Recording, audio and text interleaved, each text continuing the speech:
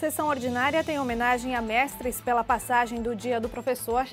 Centro de Integração Empresa-Escola apresenta relatório de atividades na Assembleia Legislativa.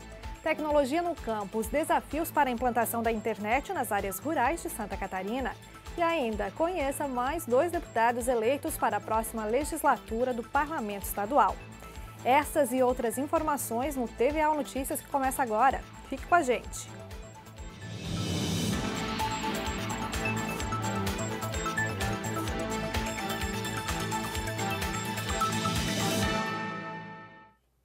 Boa noite para você. A gente abre a edição de hoje com os principais destaques da sessão plenária realizada pela manhã.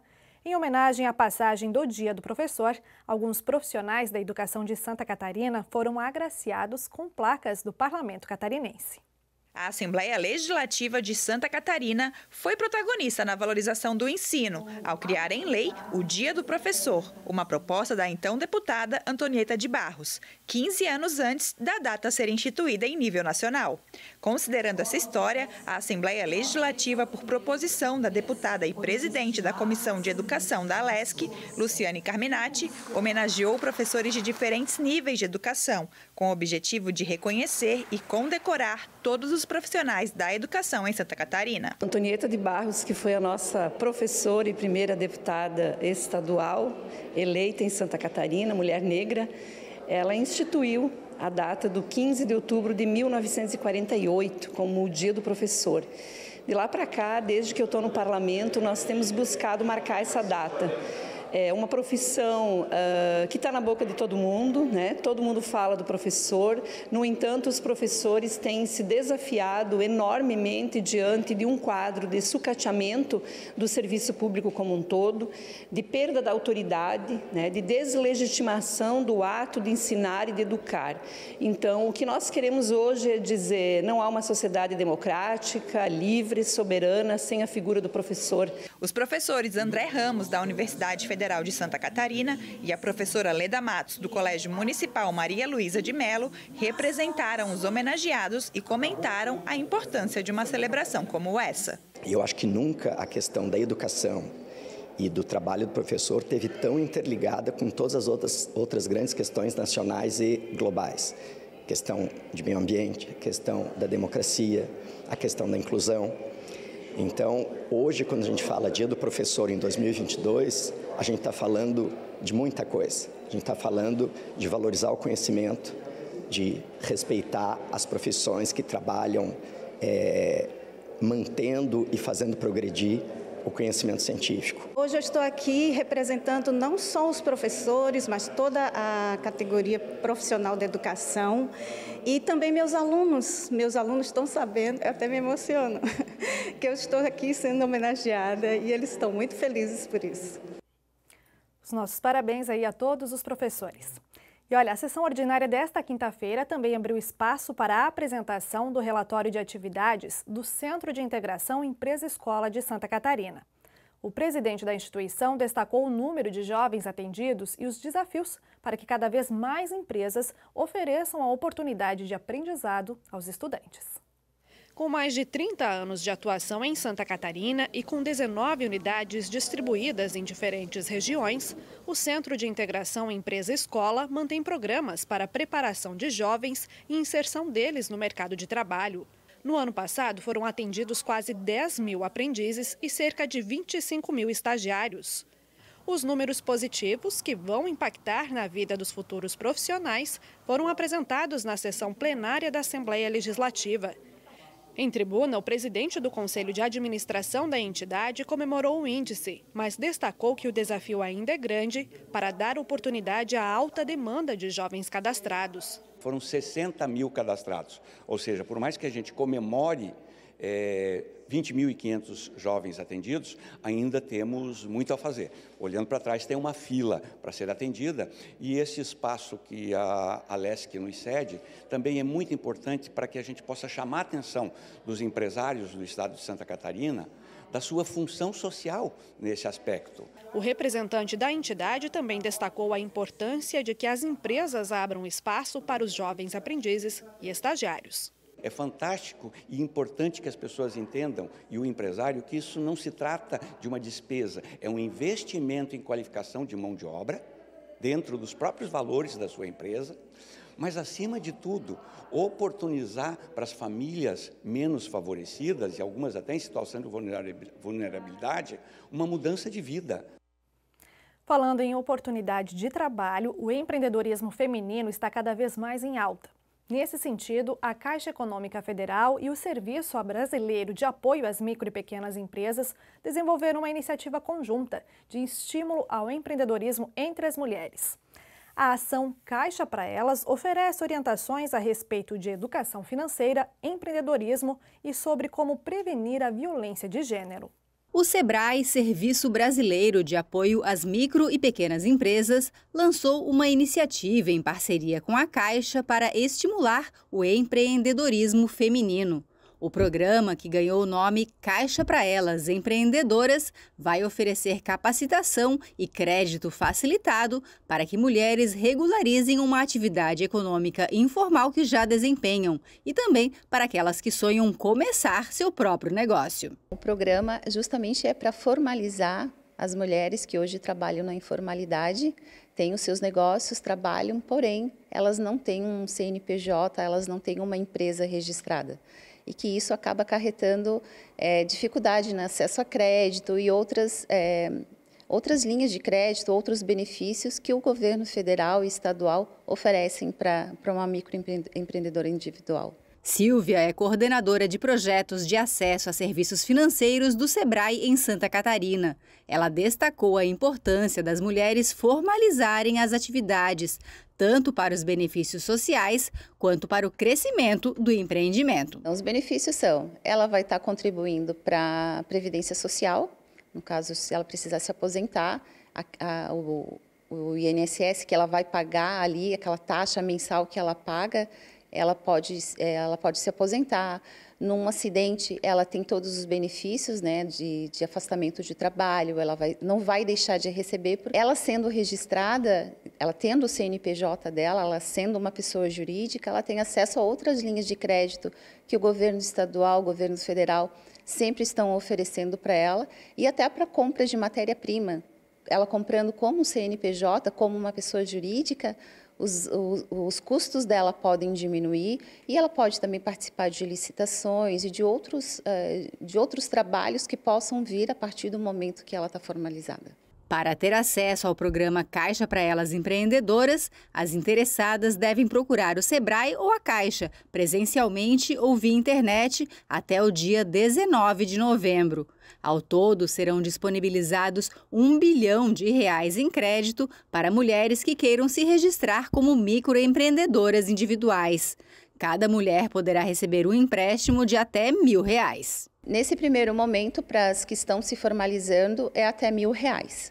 Então, até mil reais, ela vai poder escolher a forma de pagamento em 12 ou, ou até 24 vezes, tá? uma taxa de juros em torno de 1,9% ao mês e vai direto pelo aplicativo também, né? Ali ela vai escolher as opções, o valor até mil reais, não necessariamente ela vai conseguir o mil reais, ela pode é, pegar um pouco menos, o que seja necessário para iniciar o negócio dela. Então, a partir dali, ela vai estar iniciando um relacionamento com o agente financeiro e depois disso ela vai ter acesso a outros valores que podem chegar até 25 mil reais. Pode ser um valor pequeno, pode ser um é, hoje a gente falando ah mil reais é muito pouco. Não, mas para quem está começando, às vezes realmente é um valor expressivo para ela. Ou para comprar uma máquina, se é uma costureira, uma máquina pra, pra nova para costurar, própria matéria-prima também. Então esse valor apesar de ser pequeno, pode alavancar o negócio dela muito mais vezes. E você vai ver a seguir a tecnologia no campo e os desafios para que a internet chegue nas áreas rurais de Santa Catarina. É um instante só e nós já voltamos.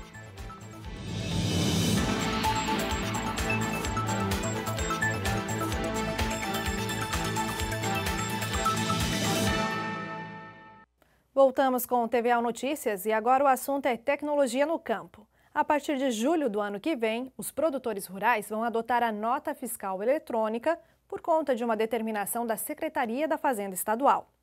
Mas quais os desafios para que a internet chegue às propriedades rurais de Santa Catarina? Este tem sido um debate permanente aqui na Assembleia Legislativa. A tecnologia está cada vez mais presente no dia a dia da sociedade. Não é diferente no campo, onde a mecanização permitiu um aumento cada vez maior na produção, seja com as colheitadeiras na lavoura de milho e soja ou as máquinas elétricas para ordenhar o leite da vaca. No entanto, o sinal de internet nas áreas rurais de Santa Catarina ainda está longe do ideal. Em Santa Catarina, é, moradores cobertos no interior, nos municípios rurais, é 42,27%. E, e a cobertura de área é 38,87%. Você veja que é bastante reduzido. Em julho de 2023, os produtores rurais catarinenses vão precisar atender a uma demanda da Secretaria da Fazenda do Estado, emitir a nota fiscal eletrônica. E é aí que surge o desafio de infraestrutura. Nós estamos até buscando uma alternativa, porque ah, não vai mudar o prazo, o nosso produtor vai ter que cumprir. É uma determinação do CONFAS, que é a nível de Brasil, uhum. para que o Estado, ao menos, disponha para o produtor rural um aplicativo que ele possa usar no próprio telefone celular. Uma lei aprovada na Assembleia Legislativa e sancionada pelo governo do estado criou o programa Conecta Agro SC. Foram reservados 100 milhões de reais para garantir a cobertura de internet nas áreas rurais do estado. Um dos entraves para implantar a tecnologia, segundo o deputado Altair Silva, que ocupou a Secretaria de Estado da Agricultura até março deste ano, é a dificuldade das prefeituras em terem os projetos necessários. Mas acredito que todas as prefeituras e todas as regiões do Estado vão trabalhar fortemente a partir do fim do período eleitoral para que esses processos, esses projetos cheguem é, até a Secretaria da Agricultura para ter a sua tramitação, a liberação dos recursos em conjunto com as prefeituras municipais, executarem essas obras, levando a fibra ótica ao interior dos municípios catarinenses. O parlamentar acrescenta que a chegada da internet de alta velocidade é fundamental para o produtor rural e também instalar é, sistemas da internet das coisas, exemplo dos robôs que ordenham as vacas leiteiras e que precisam de internet de alta velocidade, os robôs que operam na suinicultura, na avicultura, a agricultura de automação precisa de internet, por isso ela é fundamental. Esse trabalho é muito grande, vai continuar, eu tenho certeza que Santa Catarina já é o pioneiro nesse desafio da internet de alta velocidade para o interior. E agora nós vamos a um dado positivo para o varejo de Santa Catarina. Depois de um início de ano com alta de preços entre janeiro e março, os últimos cinco meses de 2022 registraram um aumento das vendas nos supermercados, em especial na comparação com o mesmo período do ano passado. Os supermercados possuem um ditado comum. Entre os setores da economia, normalmente durante períodos de recessão, são os últimos a entrar e os primeiros a sair da crise. Essa máxima vem se comprovando verdadeira desde a pandemia da Covid-19. No acumulado entre os meses de janeiro e agosto deste ano, período que os supermercados catarinenses registraram um aumento de vendas em 2,23% em comparação com o mesmo período do ano passado. A própria estabilidade dos combustíveis, a queda dos preços né, do próprio combustível, isso é muito, é muito relevante para nós, né? A própria deflação da nossa inflação, e isso acaba refletindo no, nos produtos finais. Esse crescimento no consumo das famílias registrado pela entidade que representa os supermercados de Santa Catarina interrompe um quadro de aumento de preços nos primeiros meses de 2022. A linha de horta e frutigrangeiros, né? Como tivemos chuvas razoáveis, digamos assim, a partir de um, de um certo período ali, a produção está normalizada e até com excesso, às vezes eu diria assim, de produção. E quando tem excesso de produção, nós temos baixa nos preços também. Então acaba isso equilibrando outros produtos também. O setor sentiu a mudança de tendência, com a estabilidade dos preços e o aumento do consumo das famílias, também reforçado pelo pagamento do auxílio financeiro do governo federal. A expectativa é que o cenário se mantenha nos últimos meses do ano. Tudo gira dependendo do produto nosso. Tu falar em carnes, depende como é que estaria a exportação. Tu vê, por exemplo, essa semana aqui já deu a queda no, no frango, porque parece que a exportação está meio truncada. O peito do frango, que é um dos cortes mais caros que nós temos, já caiu R$ reais em quilo agora essa semana. O arroz, ele estava em queda, tanto o arroz como o trigo estava em queda e agora com essas chuvas aí que o pessoal não está conseguindo colher, está um pouco mais difícil, ele já dá, dá sintomas para reagir de novo. Mas isso tudo vai depender do tempo agora e se haverá estrago ou não, percas ou não nas lavouras. E agora nós vamos falar de eleições 2022. No dia 30 de outubro será realizado o segundo turno das eleições em todo o país. O eleitor que ainda não tem o e-título pode baixá-lo para ter acesso a informações importantes para o dia de votação. Faltam nove dias para o segundo turno das eleições gerais de 2022. Os eleitores que não votaram no primeiro turno, no dia 2 de outubro, podem votar no segundo turno. Basta estar com a situação regular com a Justiça Eleitoral. Cada turno de votação é considerado uma eleição independente e, por conta disso, o não comparecimento à primeira etapa de votação não impede o exercício do voto no segundo turno. E quem ainda não tem o aplicativo e-título ainda pode baixá-lo. O download do aplicativo é permitido até a véspera da votação, dia 29 de outubro. Nele, o eleitor pode acessar informações como local de votação, zona eleitoral, além de contar com a praticidade de ter em mãos o título de eleitor virtual. No e-título também é possível justificar o voto, realizar a emissão de certidões de quitação eleitoral e crimes eleitorais, acessar e emitir guia de pagamentos de multas, entre outras funcionalidades. Para utilizá-lo é fácil. Basta inserir o número do título ou do CPF, o nome do titular, além dos nomes da mãe e do pai, data de nascimento e seguir os passos indicados. Pronto. Feito isso, o eleitor terá no celular ou tablet todos os dados eleitorais sempre seguros e disponíveis, reduzindo os riscos de extravios e danos ao título. E falando em eleições, depois do intervalo você vai conhecer mais dois deputados que vão ocupar uma cadeira na Assembleia Legislativa de Santa Catarina. Em instantes, aqui no TVA Notícias.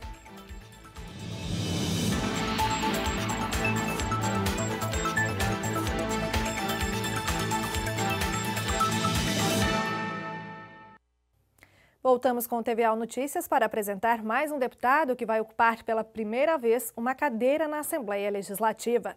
O comunicador e ex-prefeito de Blumenau, Napoleão Bernardes, do PSD, conquistou quase 37 mil votos e fala sobre a expectativa dos trabalhos para o ano que vem. Eu tenho uma trajetória política como vereador e prefeito duas vezes. E é quem passa pela política municipal, como vereador, como prefeito, que sabe onde o calo aperta em termos das necessidades dos municípios.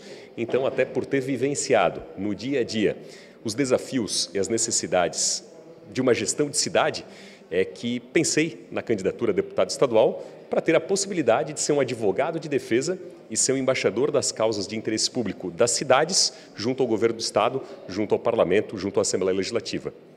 E qual a sua expectativa a partir do ano que vem aqui no Parlamento? É, por um lado, um grande orgulho, uma grande honra poder ser deputado estadual de Santa Catarina. É também um grande peso de responsabilidade, tendo em vista ter conquistado né, quase 40 mil votos divididos em mais de 250 cidades catarinenses. Então, ao mesmo tempo que é uma grande satisfação, uma grande honra, também é um grande peso de responsabilidade.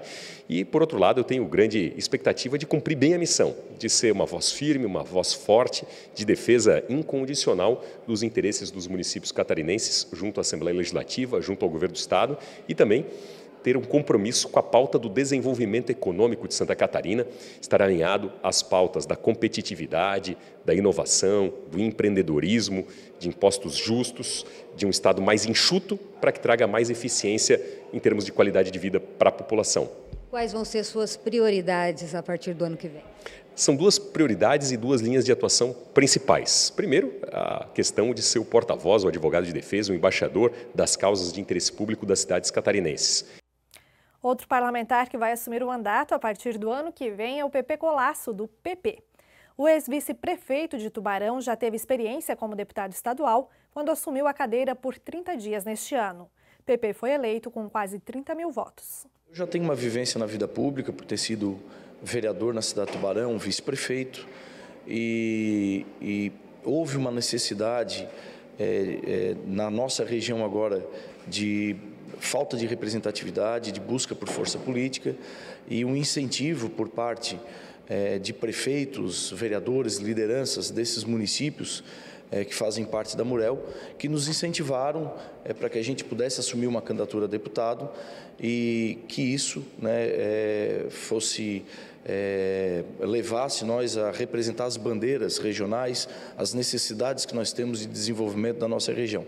Por isso que nos, nos motivou, esse grupo nos motivou a estar participando desse processo eleitoral que nós tivemos êxito no, no outubro passado.